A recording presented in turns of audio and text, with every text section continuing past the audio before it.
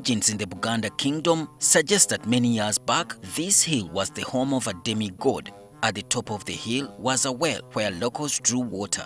The story continues that they used to meet this woman who was not like other demigods who hurt people and because of her peaceful nature, they named her Namirembe, which means the peaceful one. However, modern day historians have a different story. and she was uh, a traditionalist.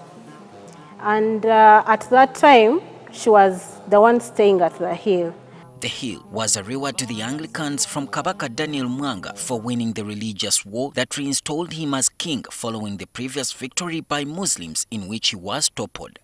In 1890, the idea to set up a church was initiated by a one Nicodemus sebuato but after its completion in 1891, they realized it was in a wetland and decided to shift it to the top of the hill. A second church was built but did not last long following a storm that swept it away.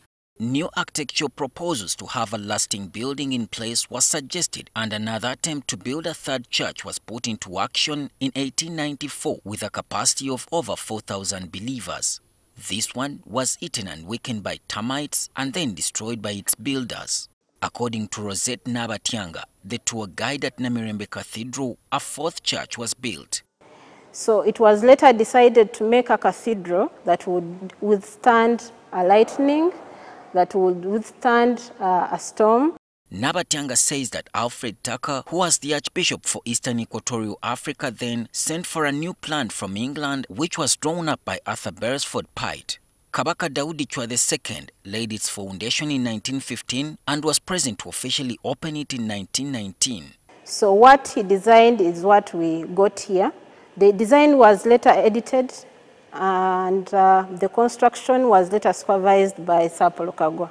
Namirembe was in the Diocese of Eastern Equatorial Africa, which covered Congo, Uganda, Kenya, Tanzania, and parts of South Sudan until Uganda broke away. The Church of Uganda seat remains at Namirembe.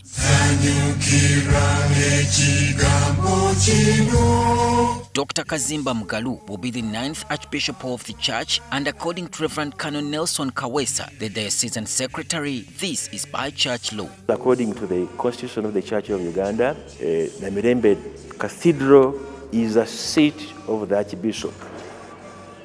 At the same time, it is the seat of the Diocese of the Bishop of Namirembe. For 105 years now, the current cathedral, named after St. Paul, has been standing in spite of the myths by traditionalists that the Anglicans would never succeed to construct a church in a location that belongs to a demigod. Solomon Kaweesa, NTV.